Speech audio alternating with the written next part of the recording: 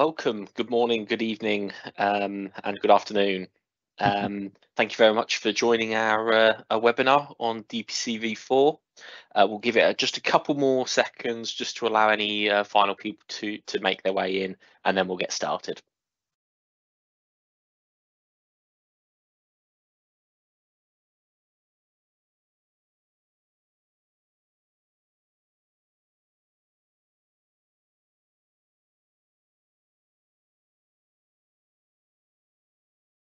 Lovely stuff. Um, so um, thank you for for joining us. My name's uh, Leo D'Arcy. I'm the head of identity and access here at PowerON Platforms, and I'm also one of the lead developers of um, DPC product. I'm uh, joined uh, this morning um, by Richard. Thank you very much for for joining. My pleasure. Um, and um, I, we're also joined by my colleague Damian Shiell, who's senior consultant. Hi there, Rob. So uh, today, what we're going to be kind of running through is kind of what's uh, what's new with uh, DPC v4. Um, we're going to give you a nice demo of what that looks like in Windows 11 and also managed uh, kind of fully via, via Intune in a kind of Azure AD um, uh, only managed way. So there's no domain join, there's no none of that. Obviously, the domain join stuff and group policy, uh, none of that's going away but um, we are just kind of showing you the the other possibilities um, around around some of that stuff now. Then have a, uh, a discussion around the kind of current state of AOVPN in Windows 11. We've just had some major important patches land. There's still some outstanding bugs, etc. We'll kind of dig into what that looks like and um, kind of where kind of Richard's thoughts are, where our thoughts are around some of that stuff. And then we're going to get a sneak peek from my colleague Damian, Damian on um, the a new uh, product that PowerON are going to be bringing to market um, soon, um, which allows us to do kind of unified reporting um, around our VPN. That's very exciting for us as well, and we'd love to see um, your your thoughts and feedback on that. And then we're finally going to finish the session off today um, with an open Q and A so with that being said, please do get your um, uh, questions into the chat. Um, where appropriate, we'll um, try and um, go through some of them um, during the call, and if not, we'll we'll go through them at the end. And if we do run out of time during the call, what we'll do is we'll we'll feedback um, uh, remotely uh, to to answer any other questions that are submitted. So um, DPCV4. It's a uh, it's a relatively major release for us, um, bringing Windows 11 support. Um, this was something that we we tried to or we wanted to um, kind of do from day one of Windows 11, but unfortunately there was a number of kind of bugs in the platform that uh, stopped us from from initially being able to offer it in the same way as Windows 10. So while nine, uh, um, Microsoft kind of advertised 99.7% application compatibility between um, uh, Windows 10 and Windows 11, unfortunately, AOVPN is very much that 0.3, which is, um, or has, has certainly had some issues, shall we say.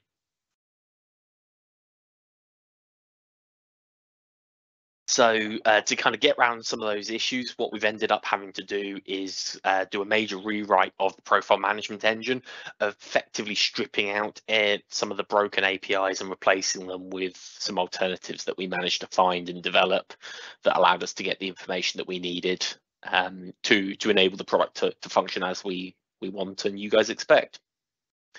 So it wasn't all kind of bad news from that perspective. Um, doing this kind of major rewrite has also allowed us to find and fix a number of bugs in that, that engine. Um, and it has certainly made things more consistent and the code base is certainly um, better for it, I would say. Um, we're not stopping there at all. Um, we are bringing, uh, so the the version 4 release there's not a huge amount in there apart from the uh, the windows 11 uh, elements. So if you're not planning on windows 11 um, it's still worth upgrading uh, from the for the consistency perspective. But what we're now going to be or what we're now looking forward at is kind of version 4.1 which we're hoping to get out in the next kind of couple of months. And uh, part of that is um, around some of the new features that are being released in 20, uh, Windows 11 22 H2. Um, so, Richard, are you able just to kind of talk through? Oh yes, what those, those will be?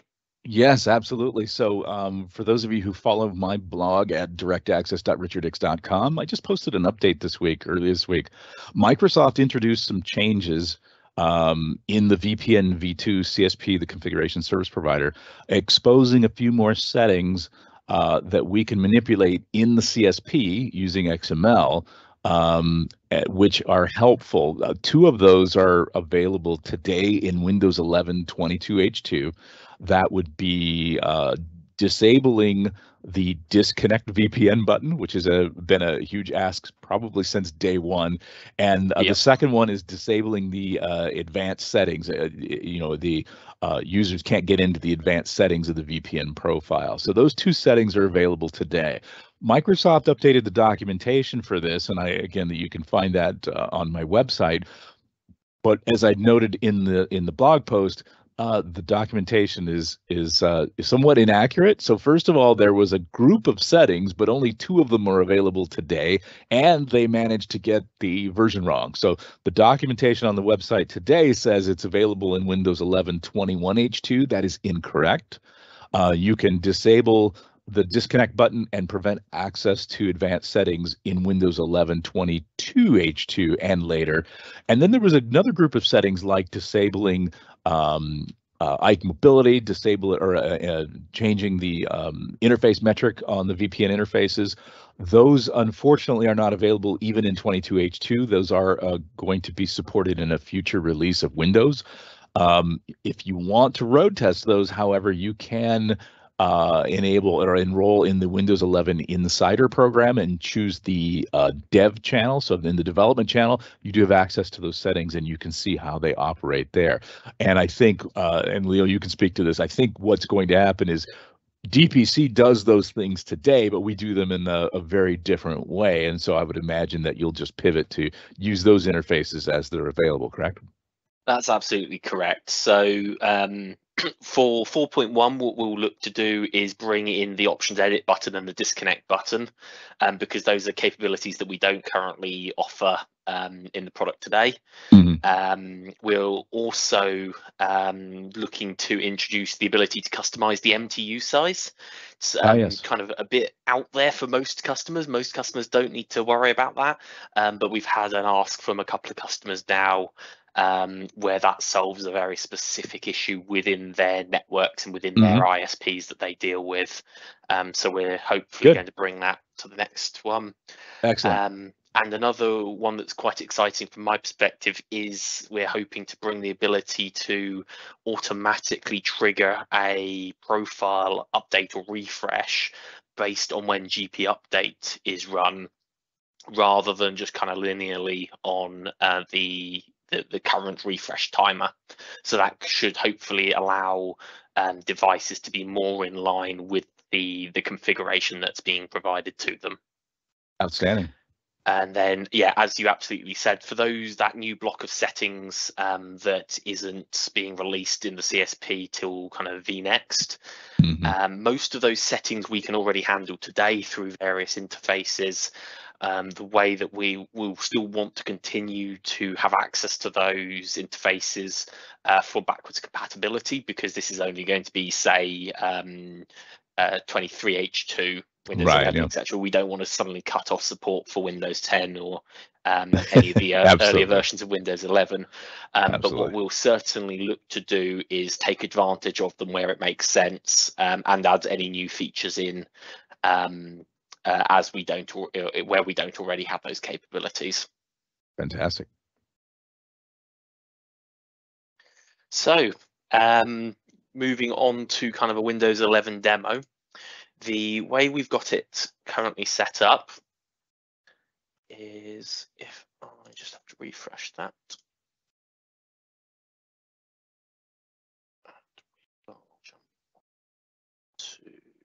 Uh, so what we've got is a virtual machine in our demo environment. And that's running Windows 11, it's 22H2, and it's pure Azure AD join. There's no Active Directory domain involved with this with this specific um, uh, VM at all. So what we've done is we've um, presented out the user tunnel and the device tunnel. With uh, Azure AD only devices, you generally only want to be deploying the user tunnel, mainly because there's very little value in the device tunnel because all of the pre-logon authentication and systems and things like that are pretty much all internet facing anyway. Um, and then as uh, Richard uh, kind of rightly pointed out earlier, uh, you also have the issue where the device tunnel won't always automatically start up on an Azure AD only device. So kind of looking at what it takes to kind of get to that setup from an Intune perspective. Um, we've obviously got our Intune tenant, and the first thing we've got to do is get the application uh, deployed. So this is just grabbing the MSI from the usual downloads location, and assigning it out to either your devices or your users. And there's no additional configuration here. It's pretty much a next, next, next. For, well, it's about next, next from an Intune perspective. it's really that simple. There's minimal information you've got to put in apart from where you want to start categorizing things for your own internal usage, etc. And then we get on to the device configuration. So what we'll just show you firstly is the certificate management. So um, we've still got an on-prem uh, PKI system, but we are presenting those certificates out via Intune uh, to allow, allow them to be trusted, both from a device and from a user NPS perspective. So we've got the root and the issuing authorities just to uh, allow the chain of trust. And then we've got the PKCS certificates here for both the user and the device. And those could be SCEP based certificates depending on your personal preferences around um, SCEP versus PKCS. So that uh, effectively is all the prerequisites for getting a, a AOVPN tunnel up and operational. What we then need to do is configure uh, DPC. So the first thing that we need to do is go over to this new import ADMX location. And it's worth pointing out that this is all kind of a feature of Microsoft Intune. It's just a, a advantageous for DPC and for our kind of customers uh, using DPC that the, these capabilities now exist within uh, within the Microsoft stack. So the first thing you've got to do is um, you've got to import the Windows ADMX uh, because the, the, the DPC ADMX kind of has some dependencies on it. Uh, Microsoft know that this is kind of a, co a common um, requirement. So as part of the pre, or sorry, as they kind of move towards general availability on this feature, they are looking to kind of hide the need for the Windows.admx because they already kind of control that one anyway. So why make make the extra kind of e effort. But just to kind of show you what that looks like from an importing perspective, we can just go go to here.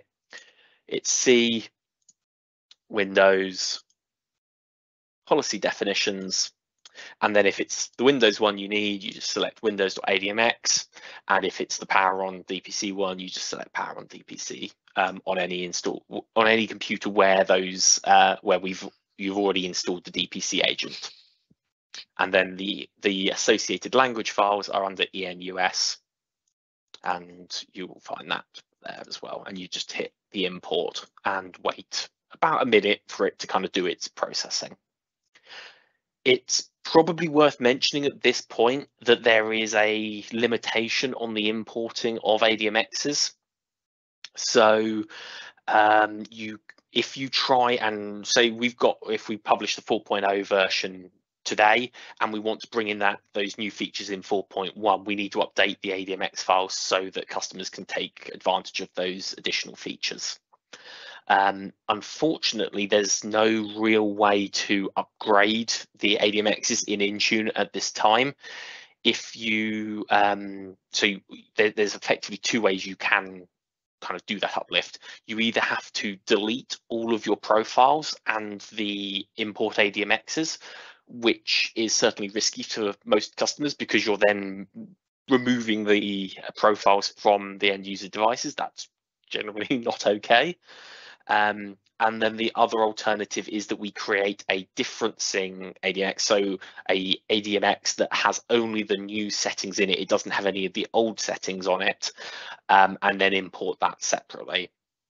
If there's any customers that that need to do that approach, uh, then we are um, more than willing to to work with customers to to build those differencing ADMXs as they need them. Microsoft have acknowledged that this is an issue and are looking to uh, manage that on the back end um, in a much better way, but there's no ETA on that at this point. I would suspect that it's a post general availability feature from, from their perspective. The other thing to note with the differencing um, ADMXs is that you are limited to 10 um, imported ADMXs at any time so if you've just got the DPC ones, then that gives you multiple opportunities to add the differencing settings in. Um, if you've got lots of other ones, for example, we've got this drive mapping one, um, that obviously cuts into the number of uh, ADMXs you can import.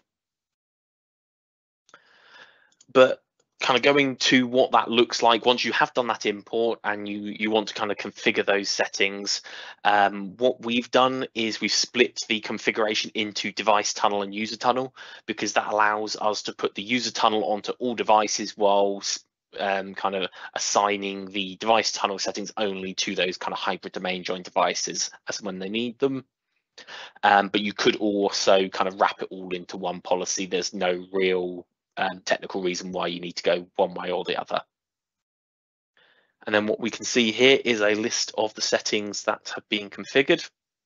And if we go in, we can see the initial set of oh, where I, I've already configured these things. So for example, the NPS radius list, and these are all the settings that you kind of know and love um, already from a group policy perspective, if you're already running operating it on-prem and if you want to see how that looks from a if I need to add a new setting in it looks uh, an awful lot like the administrative templates section of group policy which is kind of by design. So here's a nice new setting there we can configure.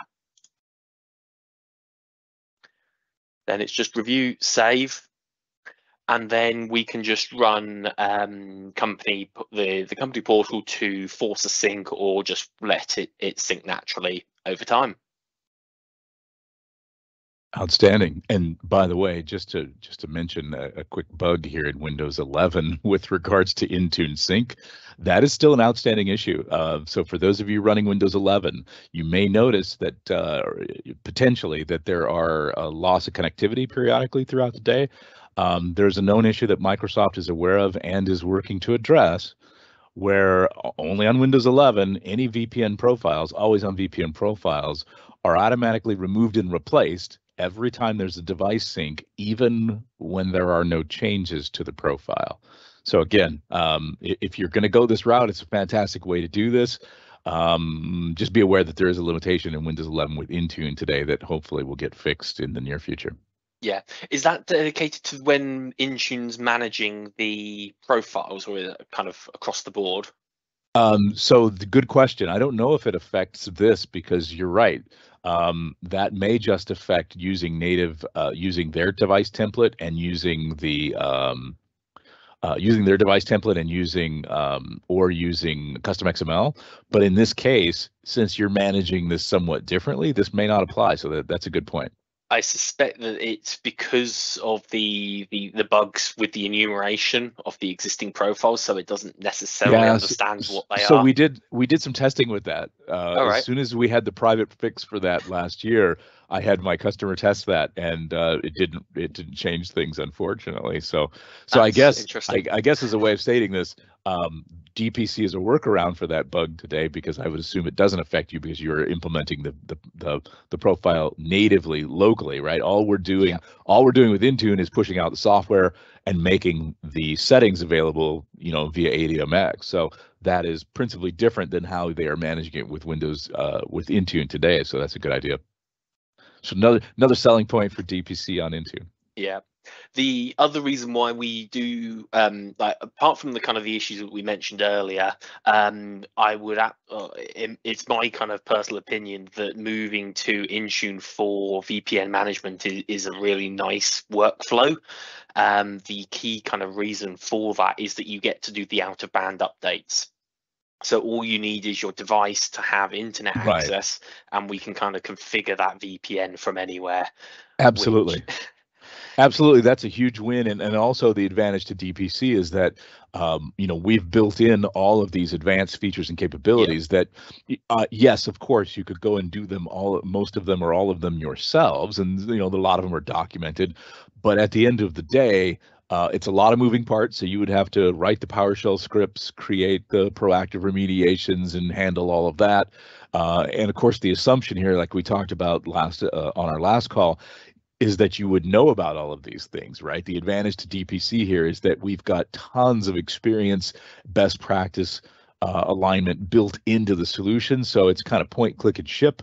Um, and uh, it, it, uh, it- for me, this was a huge win when Microsoft came out with custom ADMX because it, prior to that, it was a niche product that would really only address those scenarios where you're going to manage uh, using Active Directory group policy on premises. But when Microsoft introduced this feature, all of a sudden that just opened up a whole new world because now we can take advantage of of all of those things in DPC that make it a powerful tool and still get the advantage of using modern management and out of band management. So that's a huge win for sure. Yep. Uh, lovely. So,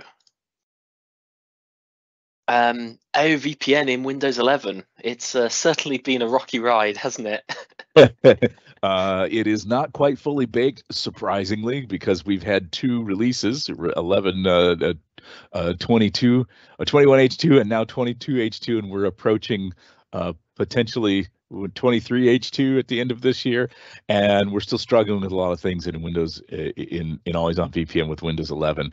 Uh, we have a there was a bug in uh, for those of you who may or may not be aware, there was a bug in um, in the eh, eh, in Windows 11 introduced with the with the introduction of Windows 11 that prevented the enumeration of a, of a WMI class that was rather critical to supporting always on VPN. And so um, uh, I I had several of my customers open up support cases, PowerON and and and Leo opened support cases. We ultimately got Microsoft to produce a fix, and they released that fix last month. So uh, end of February is when that came out, and sadly, it was available only for Windows 11 21 H2. Uh, when we pushed back and and asked why it wasn't released for you know 22 H2, uh, Microsoft's response was that nobody asked for it. So of course we uh, we had a, a good chuckle at that because when we started this. Um, um, uh, when we started this, it was probably last June or July, I think. It's been 18 Um, months in the making. Right. And so there was no 22H2. We couldn't have possibly asked for it. It didn't exist. Right. So anyway, Microsoft is aware that uh, they've only released it for 21H2. It's coming for 22H2. I would expect at some point, hopefully soon, because ultimately they, I think they have the fix. They just need to push it out. So we'll see how that goes. Uh, but that's that's been challenging for sure. Yeah. Um, so that's the, the the the real core one that's been blocking a lot of people, both with DPC, without DPC, um, from kind of really shifting um, uh, over. But there's um, uh, as as you kind of previously mentioned, there is some new development going in, which is quite exciting, isn't it? Because um, I don't know about you, but I've of- um, uh, at times questioned whether Microsoft would continue to invest in AOVPN or whether they Yeah. would go kind of pure. You don't need a VPN, which Sure. I like. Like it, it sounds great. It's theoretically possible for some. I would Sure. certainly say for the majority, they're going to need a VPN for a good few years. Yeah. Yeah. No question. No question. Um, but yeah, there's a couple of other bugs that um, we kind of encountered as we were uh, uh, building DPC v4. Um, so just to kind of put these out there for those that um, might also encounter these things, um, just know that you're you're not alone on these. Um, just be aware that if you are using traffic filters and you set the remote addresses um, attribute on that, um, you can actually get some rather interesting uh, WMI crashes. Uh, so you can't um, add or remove profiles via WMI interface anymore. Uh, the only way I believe that you can get around that is to kill the profile through something like rasphone slash X, mm. um, and then that whatever it is, it, it unbreaks WMI, so you can use it again.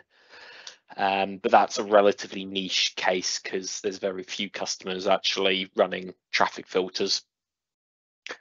Um, one of the the weird ones that we kind of ran into with DPC was that when you do finally get that response back from um, the WMI enumeration, if you've got any device tunnels um, where Rasphone or like in the Rasphone it will say yes this is a device tunnel, um, the response from the WMI uh, query will actually say no this isn't a device tunnel.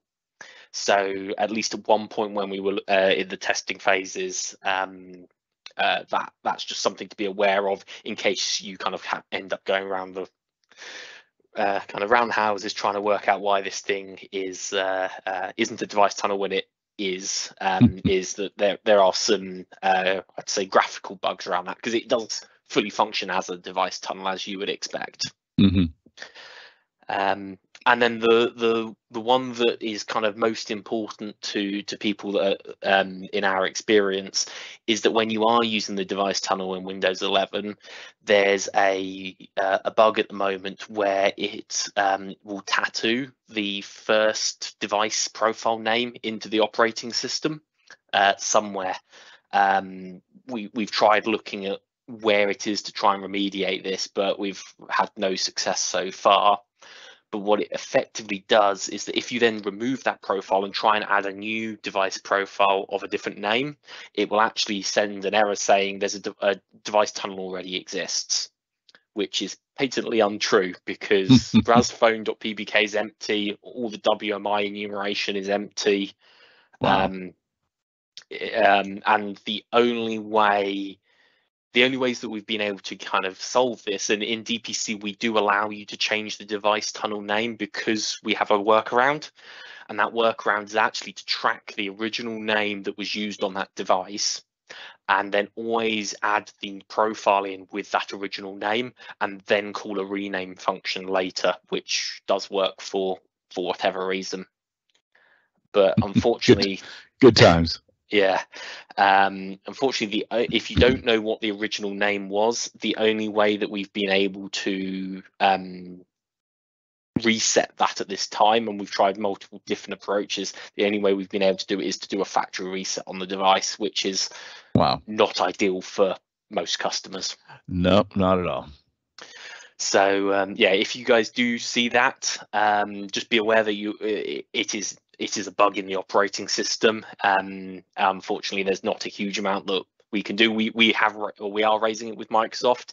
If you guys also have uh, Microsoft support contracts, um, then we would very much value additional um, requests to Microsoft um, because they will generally prioritize based on the size of the customer requesting and the number of requests.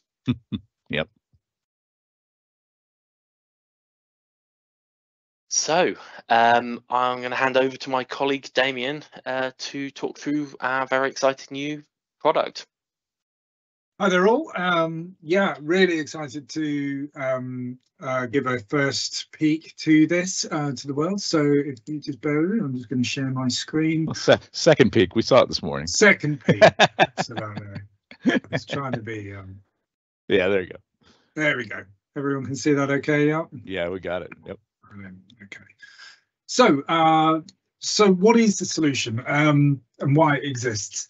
Uh, just as with DPC, it was created to uh, fill a gap, as it were, um, in in the functionality of of the product. And one of the major uh, challenges when it comes to um, VPN, it's not a central uh, it's not a discrete product in itself. It's a combination of RAS, it's a combination of um, uh, radius authentication. We're using NPS. It's got your network devices involved and obviously the endpoints as well. So there's a lot of moving parts on it.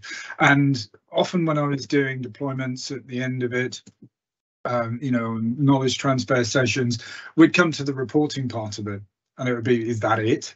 Um, which is something that i've had experience of before with other um, some of the other microsoft um, uh, consoles and reporting capabilities around it. It sort of goes there but it's often then a third party uh, solution that that fixes it um, so that was primarily the, the the main reason is that it's very difficult to be able to see all of your servers and connections in one place and then be able to then find it and centralize it by either a device, a user, um, or an IP address, or uh, all of the different factors. You you have to then do that and repeat that search each time per server, uh, which can be time consuming. So um, that's why the solution exists. It was basically to try and extend and enhance and centralize uh, the reporting uh, from the direct, uh, what mimics the direct, um, the the reporting services side, not the RAS, but the the the the actual uh, reporting side um, for the solutions. So the solution um, uh, is going to be in a couple of parts. So it is an agent that will be running on the VPN servers or the RAS servers specifically. Um, and then also an Azure storage account, which will then be the repository for the data, and then Power BI as the reporting mechanism and the, the, the dashboarding mechanism. So I must stress as well that Power BI is not a monitoring dashboard, so there will always be time, there will be always a, an historic view of what's going on, but as with everything, we can uh, do ad hoc refreshes um, and uh, schedule it, certainly using and leveraging the Power BI. So it will eventually be um, uh, um, a published app within the marketplace. Um, and so, so this is the landing page um, uh, made um, more beautiful on on um, the request of Mr. Hicks, and it's effectively uh, tries to be an overview. So this is the first stab at it. Um, this will only grow and develop and change over time to reflect what most people uh, would want to see um, on it. Almost like the morning coffee um, dashboard we used to get in Operations Manager for the Veeam um, Management Pack solution.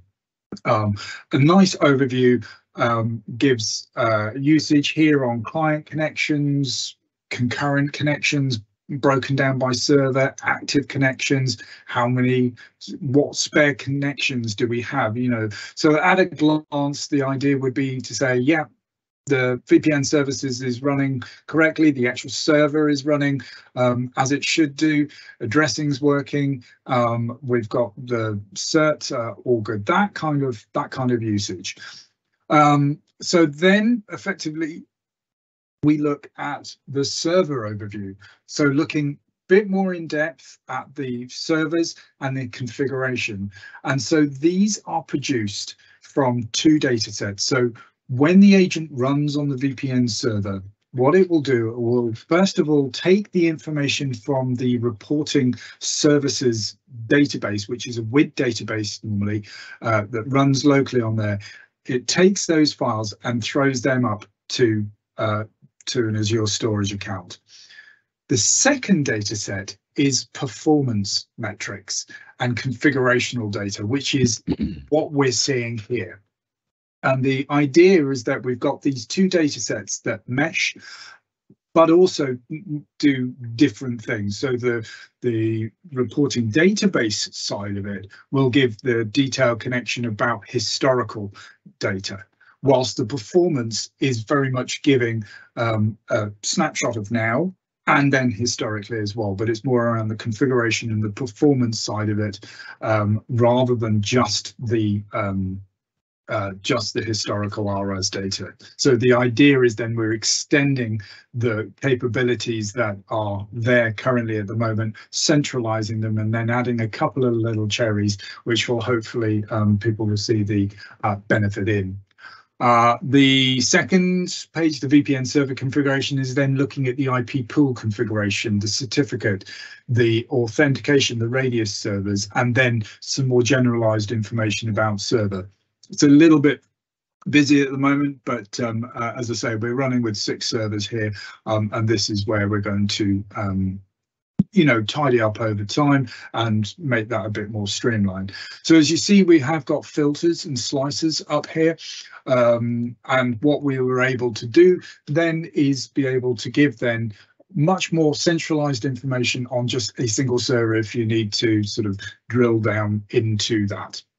And that because it's Power BI, obviously that then carries on to the next page, which is lovely because then that gives us uh, that continuity um, if we're flicking between the different perspectives of a single box or server um, and uh, gives us that overall look at it.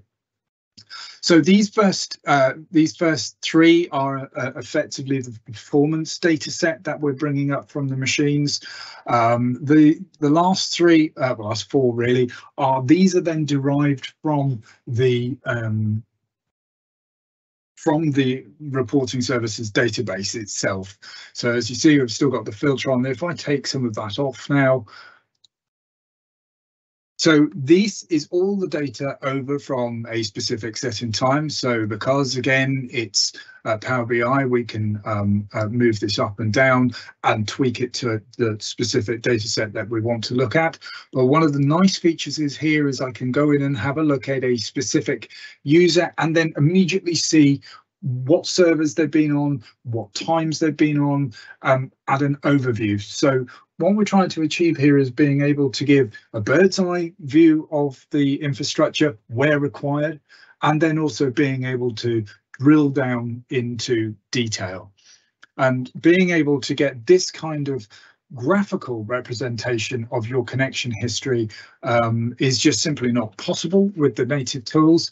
Um, and I feel and we feel that this gives um, a, a, better reflection of, of it. Now, this is just using sample data at the moment, so they're not it's not massively representative. Um, uh, when larger data sets are brought into it, it does uh, start to uh, give a little bit more uh, information on there and you can start to see trends. But as I say, this is this is test data at the moment. I'm going to clip over um, client distribution for a second and have a look at configure connection detail. Now this is where it really, really does start to sing. So um, if I bring this up first of all and give us all of it. So we can see I'm looking at all the servers across all the users on here. Um, we can drill down on each server first of all to each client, to each timestamp. So we can see on a specific ses session where the uh, endpoints were on this side here. Um, and also, if I can see, yeah, so as you can see here, the we've actually got resolved names, which is nice. It also then gives us the service name, the protocol name and the port, which are there in the native tools, but the service friendly name is not, the resolvable DNS name, if it is resolvable, is not there. And so it gives hopefully a little bit more context around what the um, users are connecting to and uh, can identify either issues or trends or use that information for whatever is is required in there. But it will give then all the details which is in the reporting services um, reporting as is now, but give it in a holistic and in one place without having to click from page to page to page and to, to understand where you're going. So um, so yeah, absolutely. So and then if we have a look at the client distribution, uh, we can see uh, we've got connections by server, client connection. This is likely to be relatively fluid, driven by what people want uh, to be able to to see on there, and uh, that will on, only hope um, to to really start to flourish and to to start giving real value uh, in the information and data that it, it brings back to you. And then the last one is data flow. So very simply, how much data is flowed in and out of the pipes for whatever servers, for whatever users over a certain given time.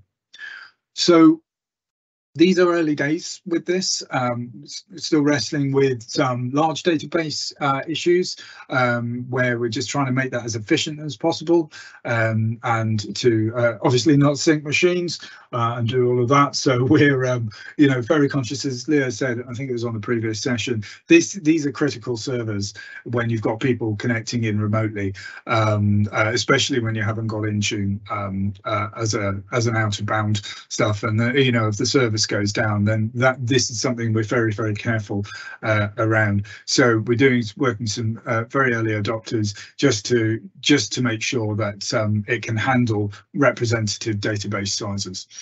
Um, so where are we going with it? Um, what I'd like to see, so um, I, uh, I, glossed over the fact that there was actually an IPv6 address there, looking to make sure that that's nice and robust, uh, because Mr. Hicks keeps asking me for it. Um, uh, so make sure that the IPv6 is supported and also server core. So um, uh, the, the, two things that will will just become more prevalent over time. So we want to try and bake that into it.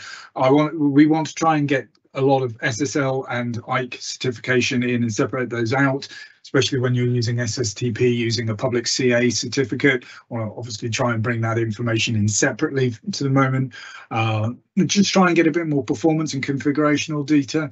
Um, we managed eventually to get the um, the spare connections coming through, uh, which were not being used by RAS and which were, which, which is just one number in a table, but it took a, a an order in a disproportionate time to be able to get that working, and it was a reg key in the end.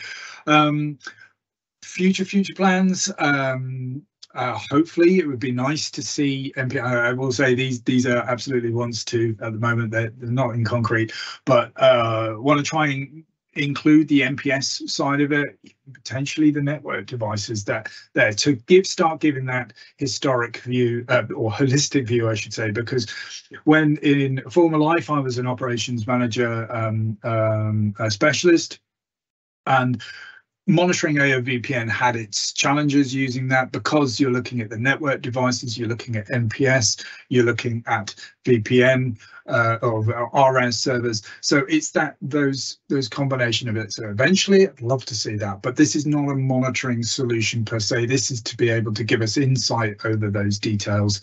Um, and from a usability perspective, uh, uh, what I love to get to in the end of it is where the report is customizable by the end user to be able to change if they don't like the, line value or the line chart to be able to, to to be able to do that. But we are where we are with it at the moment we're in early days.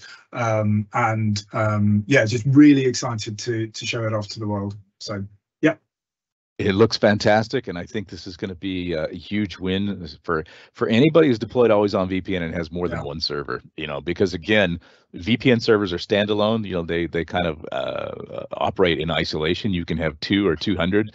Uh, one doesn't know about the other. They have no idea that there's any others. They don't share state. They don't do anything. So anytime when you're doing just general reporting, you know, uh, some HR comes down and says, "Hey, we need to know, you know, what this user did on this day." Great i have eight servers or 10 servers now i got to go run this report on each of them and um, you know i mean yeah there's some things you could do with powershell and, and and things like that but at the end of the day that that is you know kind of kludgy. Also those uh, the reporting database is just one aspect of this as you had mentioned um, and and it's important but one of the things that i think this tool is going to be really important for customers is having at least a high level visibility of configuration or you know uh, being able to look at certificates because that's it that's probably the number one issue for always on vpn outage is this certificate expiration. Uh, being able to know hey you know uh, is my ip address pool close to uh, to the limit? Rather than just having it fail uh, let me know. Hey, I'm, I'm, you know, I've assigned, I've assigned a slash 22 here, uh, or 23, and and I'm running up against the upper limit of that. Maybe I need to expand that address pool or add servers to the pool. Maybe there's a server that's misconfigured. You know, I, I look at all of the, the one screen you showed was fantastic, where it shows the ports. I can't tell you how many times I've solved problems for customers where we've had 10 servers. All of them were configured with a thousand ports, but somebody missed it on one of them and it was configured for two ports or 100 ports or 128 ports, whatever the default is. And so that would very easily show here. I would say, oh, look, there's a misconfiguration. Let me go fix that. So um, yeah. this is going to be a fantastic, going to be a huge win. Can't wait to see it. Uh, can't wait to uh, get it in the hands of some of my customers. I already have a long list of customers that are uh, in the queue for uh, first availability of a of a, of a preview. So looking forward to seeing it soon. Awesome. Yeah, definitely. Thank you, Richard. Yeah, yeah, yeah. Thanks for all your hard work on that one. That's fantastic. Uh, it's team effort. uh, so, um, got onto the the Q and A. So please do, uh, if you've got any questions about AOVPN DPC or the the new reporting solution, please do um, add them to the chat, and we'll we'll get to them. I see I would, I would, also I would also add Leo any other questions at all. So if you join the chat, if you join the chat or if you join the webinar and you yeah. have other questions unrelated to those, we're here. We've got yeah. some time. We're happy to answer your questions. Yeah. Can't uh, guarantee a good answer, but we'll certainly give it a go. Um, but we do have one question from uh, Dennis, uh, who's just asking, can we confirm that uh, we don't need Intune um, for DPC? I've taken that from, from the demo. And mm-hmm. yes, I can 100% guarantee um, if you want to use Intune, great. Um, but this product at its core, its base was from customers going, I don't want to do Intune or I can't do Intune or any number of reasons, and I want to do it on prem, and there's just no good ways of doing it right now, and that's where DPC really came from. Um, so you, while we were kind of demoing the the Intune piece today because that's what's new and shiny, um, right. you can 100% do it without touching the cloud. You're right. Uh, the the genesis of of um, uh, of DPC was Active Directory uh, managing always on VPN client configuration settings using Active Directory and group policy in the classic way, right? Um, and uh, that's how I viewed it. It was a great solution, but I always thought it was just it was just a niche solution. But ultimately, when Microsoft introduced support for custom ADX, ADMX, that just uh, uh, made it that much easier. And of course, we demonstrated that today. But you're absolutely right; the solution does work, uh, um, um, uh, Dennis, with uh, just native Active Directory and group policy. Um, we've got a question uh, for yourself, Damian, um, around um, does the report or will the reporting solution work, um, or say uh, reporting, uh, will it work with on-prem VPN servers or just Azure? Oh, um, uh, either. So long as it's got uh, line of sight out to the um, uh, the Azure storage account. Mm -hmm it's fine. So it can either be via a proxy. Um, it's effectively no, it is so long as it can communicate to the Azure storage account and dump its information there. Yeah. Um, then uh, then Power BI then accesses the uh, storage account and then pulls the information out and does its wizardry. And I would uh, to clarify that, and and, uh, the question's a tad unclear. Uh, the assumption here is we're using Windows Server Routing Remote Access or RRAS servers for VPN. Uh, if those are hosted in Azure or on premise, which we don't care, that will still consume that data. But if you are using Azure VPN Gateway or Azure Virtual WAN, this solution does not work with those. We are specifically talking about an RRAS reporting solution yep. here. Yep. Absolutely. Um, mm-hmm. and currently we have a dependency on an Azure storage account to act as that middle host point. Yeah. Um, in theory, if there was de enough demand, we could look at alternative approaches to that. Um, but at the uh, at least at the V1 stage, there will be a requirement for the customer to have an, an Azure storage account that we can uh, communicate with assume if a big enough customer comes along and says, I want to host this on AWS storage, you can you can probably accommodate that, huh? Yeah, well, ultimately, Power BI yeah. is a very, very flexible and powerful tool in terms mm-hmm. of where it can be rigged up to. Um, at the moment, the way that we are rigging it is for an, an Azure storage account, but in theory, yeah. Um, yeah. it's just blob storage with a proprietary API on the front. Makes sense. Yeah, and then a table table storage then for the performance data. So but again, theoretically, a large enough customer, we can um, solve that in other ways. Very good. Yeah, absolutely. Uh, any any major new features in Windows 11? What's the what are your thoughts on that? There's a new UI. Depends on whether you define that as a major Well, and, feature. and I guess the question again is a bit ambiguous, right? Are we talking about DPC? Are we talking about VPN? Are we talking about Windows 11 in general? Uh, for I, I'll address the Windows 11 VPN aspect of that. Uh, certainly no new major features. There were some incremental changes recently uh, with updates to the CSP to expose a few more settings. But other than that, uh, always on VPN on Windows 10 and Windows 11 is functionally the same. Um, DPC in theory should work with both, but obviously, as we described on this webinar, uh, due to uh, the bug in Windows 11, uh, it was not immediately available to DPC didn't immediately support uh, uh, Windows 11. So uh, without a, a, great deal of work and, effort from the PowerON folks, um, we would have to have waited till Microsoft fully updated all of their bugs, and they still haven't done that yet. So anyway, um, but yeah, that's that's kind of where we are with that today. Uh, so from a, if we look at it slightly more generally, um, there's a new UI. Um, there's some arguably some really good stuff around the Azure AD side, and I know that our um, end user compute team are excited in various ways for the management Mhm. capabilities through all, Mhm. all of that side of things. But fundamentally, it's all the same core that it's all been since kind of Windows 8 one-ish kind of era, and it's just kind of iterative um, Yeah. improvements over the top. I see there's a question about TLS 1.3. So can we limit Windows 11 to TLS 1.3?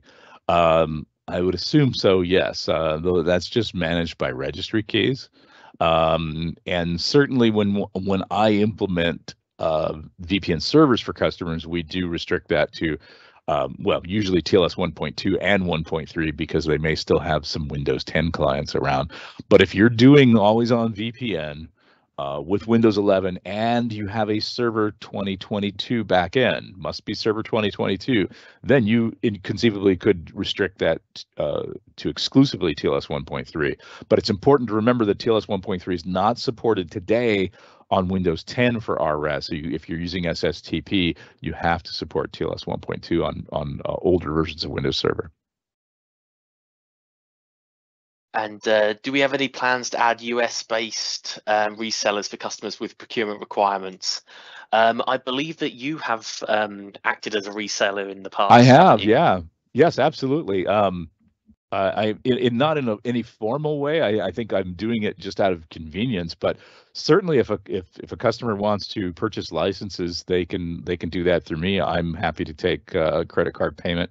I don't necessarily have a formal like website to do that. I'll just send you a link that uh, through my payment processor that that you can input your information. Uh, can do ACA, ACH. We can do bank transfer. We could do uh, um, credit cards as well. So um, uh, but of course, that question is still important to me because I still have to pay you in some way, and that's always kind of a pain. So I would love to see some sort of portal even for us resellers. so, but yeah, I anybody on the call who wants to purchase licenses, on that yeah, actually. great, that's fantastic. Um, so yeah, I'll have to reach out to um, our finance lady uh, for the for the lowdown. Oh, that'd be fantastic. That that'd be great. Yeah, for me uh, personally, um, when I'm uh, uh, reselling licenses, of course, I have to uh, pay via via bank transfer, and that means an actual trip to my bank. You know, so Oh, if it saves me that, if I could just pay it with my credit card online, I don't have to get up and go anywhere, and uh, and and it, it make it easier for me. But yeah, I have had customer feedback as well, similar where um, they would love to be able to just have like an online portal where they could buy the, the licenses directly from you, even if they don't buy them from me. But again, if anybody wants to purchase licenses here in the U.S., I, I, I am technically a reseller. Uh, feel free to reach out. I'd be happy to provide you with a quote.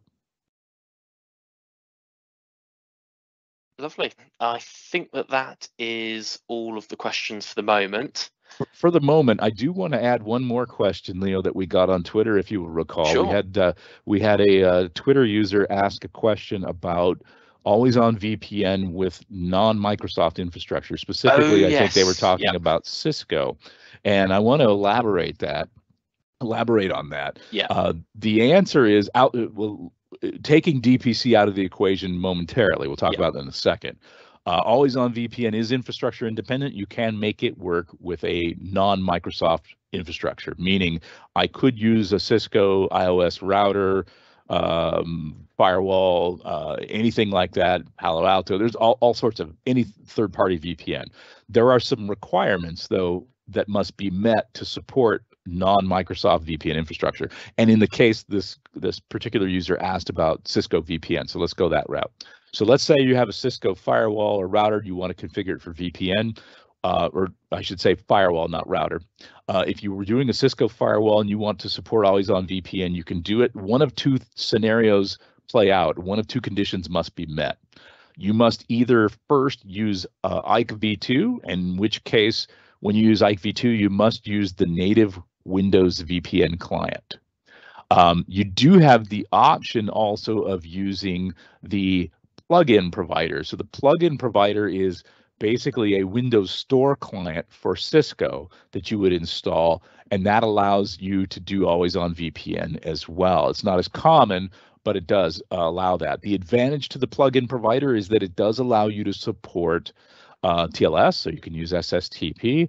But if you're using the native client, you must use IKE v2. Now, and and so if we talk about adding DPC onto this, DPC does not work with plugin providers. So in the case of DPC, you can absolutely configure always on VPN to work with the VPN, uh, a Cisco VPN, but then you must use IKE v2 as your VPN protocol. Uh, but other than that, yes, absolutely, you can definitely use DPC and always on VPN in general with uh, a Cisco VPN infrastructure, no question. Yeah, and uh, fundamentally, it's if you're looking at the kind of original XMLs and things, if it says native client in it, then ultimately DPC doesn't really care what the back end is. Yep, um, doesn't know or doesn't know or care, right? Yep. No, um, it's just that we don't support the native plugin tags at this time. Sorry, Correct. the non-native yep. plugin tags at this time. Um, correct. Yeah, the plugin providers would be a totally different animal. I mean, you yeah. in theory you could do that, but I don't know about you, uh, Leo. But from my experience, using the plugin providers is very limited. I've been doing this for many, many years. I think I've done one or two deployments where we've used the plugin provider. Pretty, it's, pretty rare yeah, it's not something that we uh, regularly come across. And what's more is the documentation is um, lacking, to say the it, least. It, nil. Yeah. Uh, so yeah. ultimately, um, in theory, you could do it with the override XML, which, oh, but it's not a great true. answer. Yeah. Um, well, ultimately, but, that kind of defeats the whole purpose of DPC of streamlining that because then you'd have to write your own XML. Yeah. Um, so that becomes problematic. Right? Yeah. So one of the key problems why we can't really commit to supporting plugin providers is because the, the documentation is next to nothing and what's more is we have no real way to provide assurances or support services around that stuff um, yeah. so it would be very challenged and and also it then gets into the point of well we uh, um, we're a relatively biased um, implementation at the moment we assume that you are going to do things like have nps servers and um, yeah. uh, you must yep. do things like uh, the certificate um, stuff and yep. we'd have to make all of that kind of optional in that circumstance. So from a ui perspective i mean group policy is great um, but it's also very limited in the types of uis you can hmm. create with it. Yeah no question. Looks like we have one more question here. Looking to migrate always on vpn from direct access uh, can dpc streamline and simplify this process? What are your what are your thoughts yeah. So I would certainly say that it has its advantages um, over kind of the native approach. Where I back in the day with kind of direct access implementations, I did see some where they had to go from a one kind of stack to another stack um, for for various reasons. And what they actually did with that was that they um, unlinked the old group policy and they linked mm-hmm. the new group policy in. And mm-hmm. then when the the policies all updated, it just downed all the original stuff and brought up the new stuff. And in theory, you can do something very similar with DPC. You can get the agent preloaded on. You could even preload all the con config apart from the enable this tunnel flag.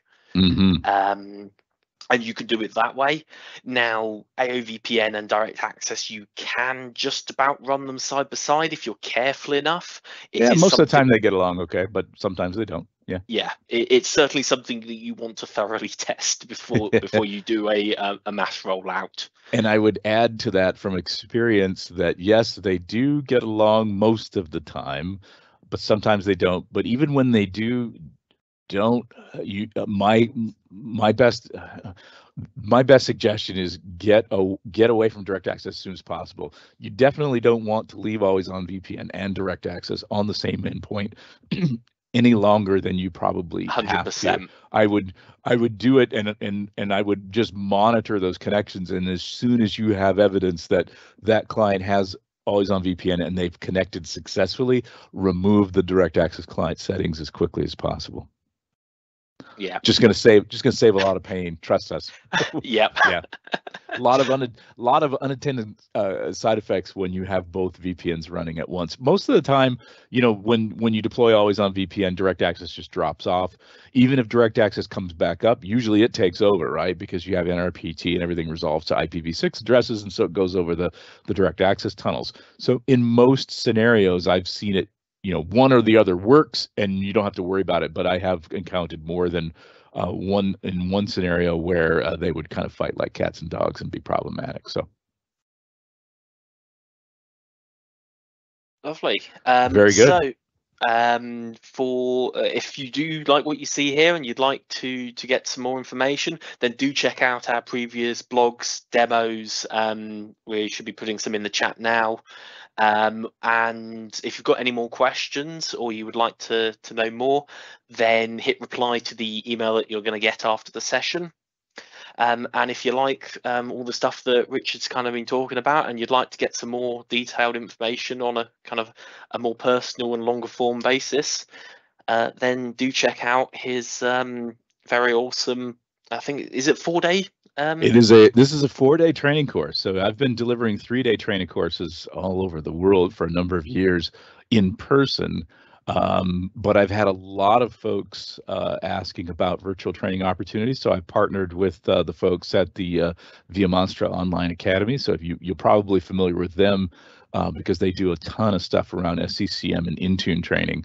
And so they've asked me to uh, deliver this training class through their platform. So looking at doing that uh, mid-April there. So if you want to sign up, um, yeah, just visit academy.viamonstra.com and uh, register. Seat, uh, by the way, it's a virtual class, but we are still limiting space because I still have to build out the virtual labs for it. So I don't want to build out, you know, 40 or 50 servers. so uh, we are going to limit that. So if you're interested in that, sign up soon. Lovely.